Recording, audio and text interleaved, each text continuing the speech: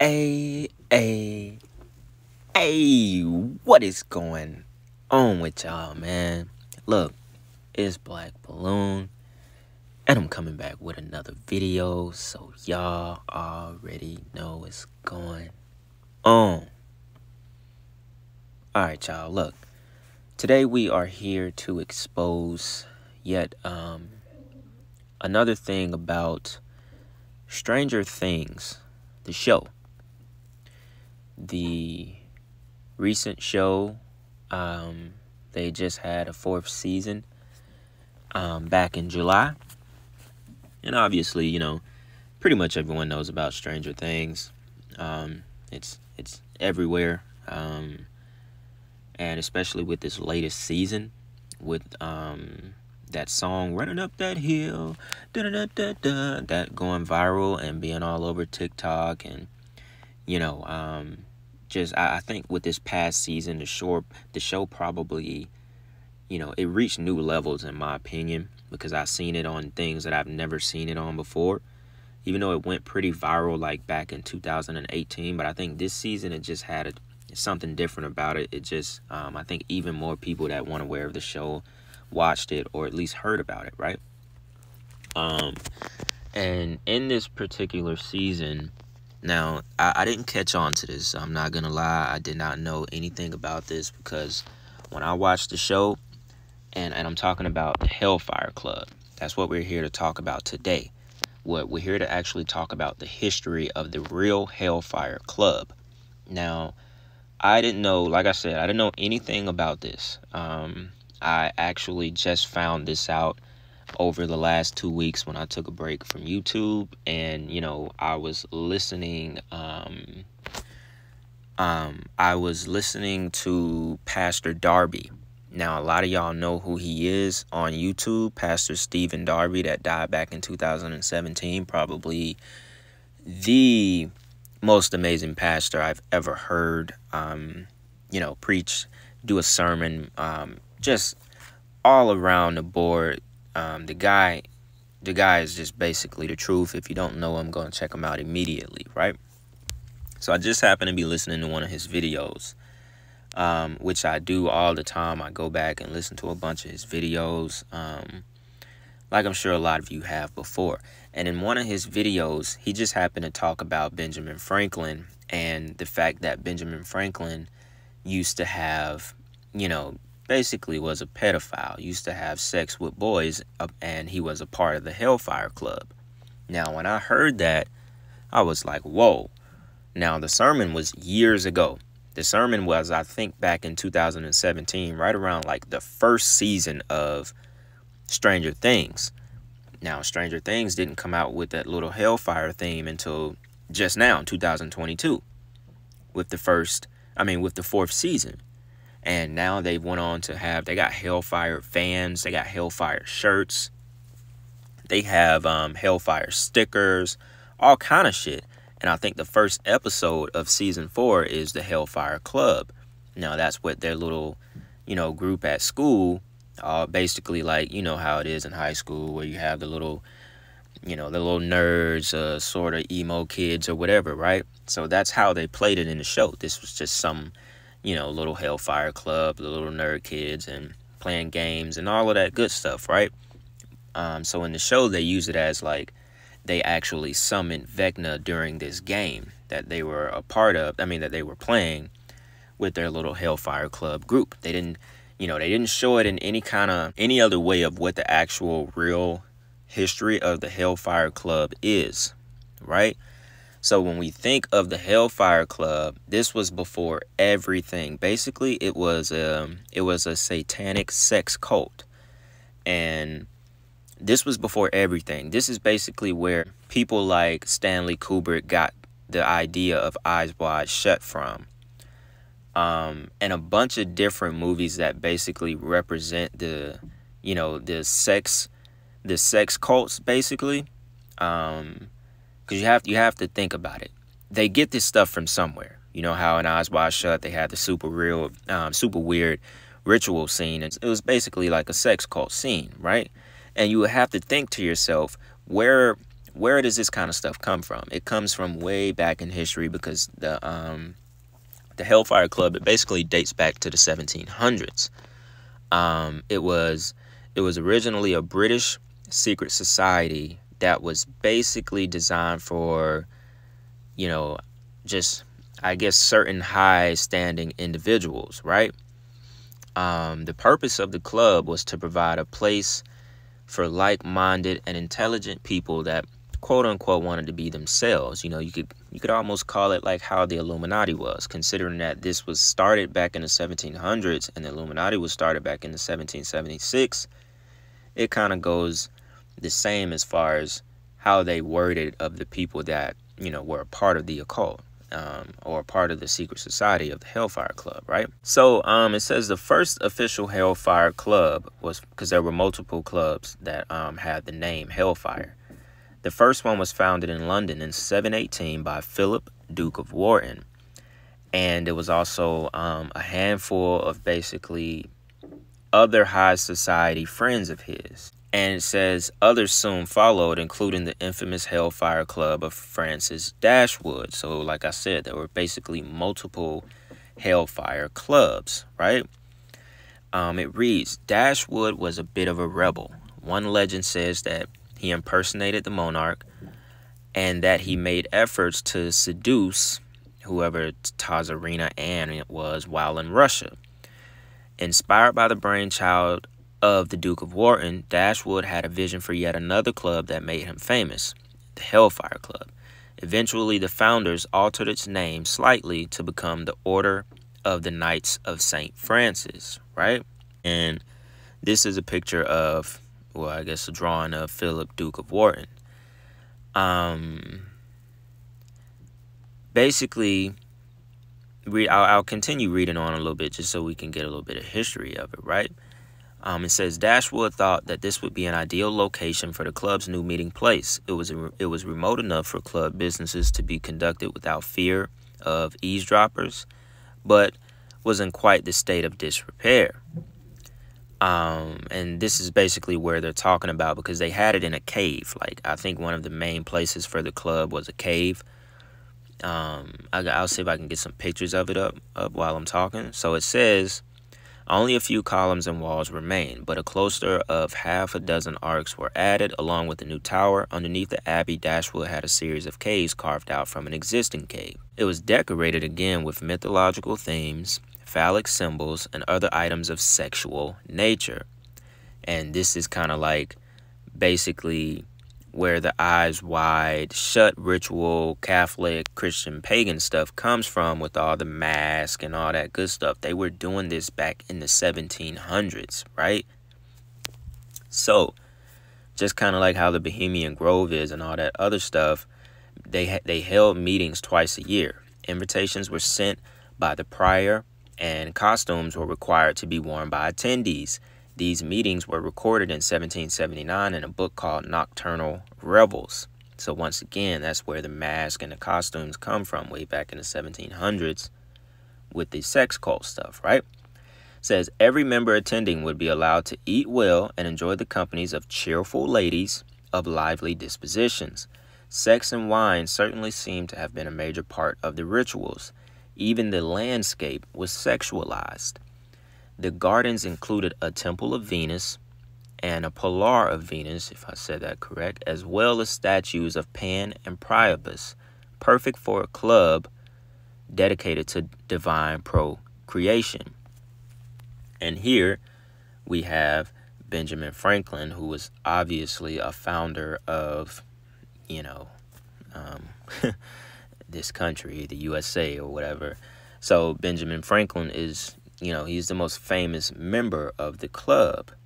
Um, just to read off, it says, Who attended these meetings? Members included notorious John Wilkes, who politically spat with fellow monk and founding member, the Earl of Sandwich. I don't know who that is. Um, and would expose the activities of the club to um, cement its notoriety in the public imagination, right? Um, so moving on, it says by the middle of 17 of 1760s, the club appeared to be on the wane, meaning it was kind of, You know, um, it wasn't really active as it once was in the early 1700s. It says the lavish abbey where meetings were held was no longer viable as a venue.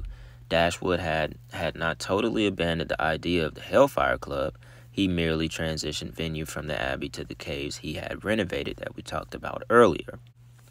Now, what makes this so interesting, you know, and I know as far as topic wise, it's, it's not the most relevant to what's going on right now, but I thought this was super interesting because when I searched it up on YouTube and just, you know, um, other other places where people post videos, there's not many videos about the history of the Hellfire Club. Now there are there are um, a few videos on it because people knew about this. People that are history buffs and like to go over this kind of stuff, they made themselves aware.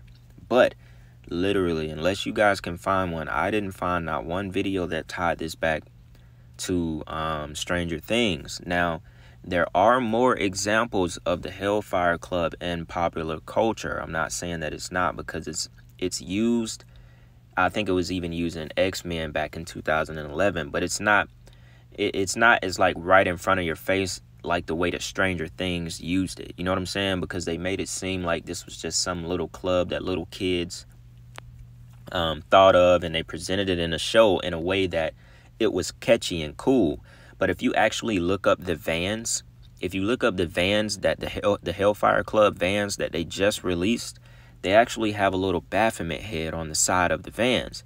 And when I saw that, I was like, yo, a bunch of kids are about to be wearing these Hellfire Club vans, and they have no idea that this was a satanic sex cult. They have no idea, but that's the way that these shows work today. That's the way that the industry works. They put this stuff right in, in your face. Now you're wearing this kind of stuff, and you have no idea what it is about. You have no idea where it came from. I didn't have an idea. I didn't even know the Hellfire Club was a sex cult back in the 1700s. You're not thinking about stuff like that. Which is why I had to really credit Pastor Darby because he didn't relate it to Stranger Things. He was just talking in a sermon and just happened to be talking about, you know, gatekeepers of the world. And when he brought up certain names, he just said, you know, that he was having sex with little boys and, and he was a part of the Hellfire Club. And then it made me do a little bit more digging into Jeffrey Epstein. So we're gonna get into this clip really quick. It's a short clip with um what is his name? I think Tucker Carlson or something like that, where they talk about Jeffrey Epstein and the Hellfire Club. So this lets you know that this stuff this is real. It never ended. It's just not called the Hellfire Club no more. It's just different secret societies that still do this stuff. You know what I'm saying? But this is the Hellfire Club is the original secret sex cult. This is where it all came from. So I thought this was super interesting to bring to the channel because, like I said, yet again, it just exposes more of what Stranger Things tries to do to little kids in their minds. We already know CERN is one of the biggest topics that get brought up in the Large Hadron Collider with Stranger Things. That's like the biggest, you know, um, I guess the biggest thing we tie to, you know, um, the conspiracies or whatever. You know, I don't like to use that word, but sometimes I just for um, lack of a better word, we'll say conspiracies, right? So, anyways, um, before I come back and sort of wrap this video up, let's just check out this short clip. So, you know, I'm not sounding crazy. You can see it right out of uh, something that just recently happened a few years ago. So, check this out. The Jeffrey Epstein scandal is so salacious and filthy and weird that sometimes it's hard to believe it isn't being copied from a novel. Epstein is supposedly a billionaire, yet nobody seems sure how exactly he made his money. What does he do for a living? Nobody knows. His home is full of bizarre features like artificial eyeballs or a chessboard with pieces modeled on his staff, supposedly. But the most disconcerting part of the saga is just how many people are tied to it. Basically, everyone you've ever heard of, dozens of famous, rich, influential people, turned out to be friends with Jeffrey Epstein. His predatory behavior toward teenage girls was apparently an open secret everyone knew, and yet he remained a free man for decades. Michael Warren Davis is a contributor to the American Conservative. He just wrote a very smart piece warning that the Epstein scandal is, quote, how revolutions begin. He joins us tonight. Davis, thanks very much for coming on. What does you mean, this Thank is how revolutions begin? Well, like I said in the piece, stories like this break, and you can really see why the French decided to march their aristocracy into the sweet embrace of Madame la Guillotine. Um, Tucker, people used to believe in this thing called the Hellfire Club. Uh, the rich and powerful would meet in secret for these weird opulent orgies. Um, and Right. they protected each other. And that's the crucial thing because they all had blackmail on each other. Um, come to find, the Hellfire Club is 100% real.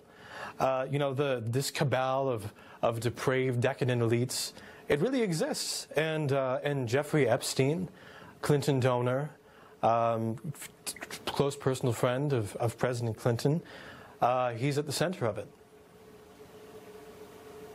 So this is the kind of story where people looking on decide actually the system is every bit as rotten as I suspected it was, maybe more rotten, and it makes them radical. That's right. I think uh, I think Jeffrey Epstein will do to uh, to the DC establishment what ex Cardinal Theodore McCarrick did to the church. Uh, sadly, everyone in the Catholic hierarchy knew about Cardinal McCarrick. Um, everyone knew Right. that he was preying on altar boys and seminarians, even people that we would consider good bishops, otherwise good bishops, knew about McCarrick, and by and large, they did nothing. Uh, and it's the same thing with the admissions scandal. Um, you know, everyone knew that these celebrities were paying for their children to go to the Ivy League. That was an open secret. But when the story broke, everyone pretended to be surprised. Uh, it's the same. It's the same thing, and people look at the system It is- and they say it's rigged. And you know what? It is. it is rigged. It is. Um, Yeah, they're- and you're they're- absolutely right. The Hellfire Club. That is. Now, um, so now that we see, you know, that was basically a clip, a clip from Tucker Carlson where they were talking about Jeffrey Epstein being a part of the Hellfire Club. So that pretty much goes to confirm everything, um, you know, as far as it's still existing today, right? Um, that I'm not just sitting here tying this to Stranger Things just for no reason. You know, I, I'm I'm actually glad I found that supporting clip because it relates to something that just happened. And we all know what Jeffrey Epstein was a part of. This video is not actually to go into that because I don't want to ring too many flags here on YouTube with this video, right? So here's a quick picture of Stranger Things with everybody with the Stranger, I mean, uh, with the Hellfire Club shirts on, right? So we remember the, as we talked about in the beginning of the video, the original Hellfire Club was founded by Philip, Duke of Wharton, right? 718. I mean, uh, 1718. It was basically disbanded in 1721, right? Um, the club leader, the leader of the of the Hellfire Club, would be called the Devil. Now, this was basically, it was mockery of God. It was mockery of religion. The members were to come dressed as biblical characters, where they would held, um, they would hold religious ceremonies, and they would eat meals that were named in, you know, kind of like a mocking way. Holy Ghost pie, breast of Venus, and devil's loin, like a tenderloin, but devil's loin, right? So this was when basically the most notorious of the Hellfire Club was actually started by Sir Francis Dashwood, right? Um, it was in his club where they would really do the mockery, the sex, you know, the satanic sex stuff and all the orgies and having sex with little boys and so on and so on. And I'm pretty sure little girls were involved as well. But it was not a club just for men. They also had women in the club, um, a part of the club as well, right? So, um, I think another thing that is actually very, very significant to the occult and where the term actually came from and had this medieval ruin entirely renovated in Gothic style for the purpose of this club. Written into a stained glass window on the doorway was the club's motto. And basically, that motto, I'm not even going to try to pronounce that. I'm pretty sure that's, um, it's French or something. So basically, that club's motto was do what thou wilt. And this was way back in 1770, I mean, uh, 1751. Now we know who's most famous today for making that term known, and that is Aleister Crowley with the do what thou wilt. Remember when Jay-Z first wore it years ago and everybody went crazy like that he had that shirt on that said do what thou wilt. So now we finally understand and we finally see where that quote actually comes from. All the way back to 1751, people. This stuff has been going on. These secret societies, it's been around. So, you know, I thought this video was super, you know, interesting because we've basically found out things in this videos that um, in this video that we've been asking questions to. Most people didn't know that, you know, you probably thought Aleister Crowley just came up with the term do what thou wilt, but really it came from the Hellfire Club. Something that I'm pretty sure he was a part of as well. You know? Um, so so yeah, man. Um, you know, I, I think I think this was a super super dope video to do. You know, it, it's it's definitely relevant with the things that um, I like to talk about on this channel because y'all know I'm not I'm not really afraid to go there with any video. You know what I'm saying? Um, I'm ready and willing to talk about any topic. You know what I'm saying? And, and things like this just kind of get me going and it fuels me to, you know, basically just keep going because this was something new for me. I didn't know about this. I'm not going to sit here and lie to y'all. I don't know everything. I don't know everything at all. Like, I'm still constantly researching and listening and finding out new things. That's what this is all about. Because we don't know it all, you know? A lot of this stuff we can only scratch the surface on. We can get very close. So, yeah, man, um, you know, y'all let me know what y'all think about this in the comments, man. Uh, hopefully we could get a good conversation going back and forth. You know, um, and if some of y'all did know about this, you know, let me know. Let me know what y'all think, man. Um, and yeah, man, with that being said, it's Black Balloon. And I'm going to see y'all soon. I'm out.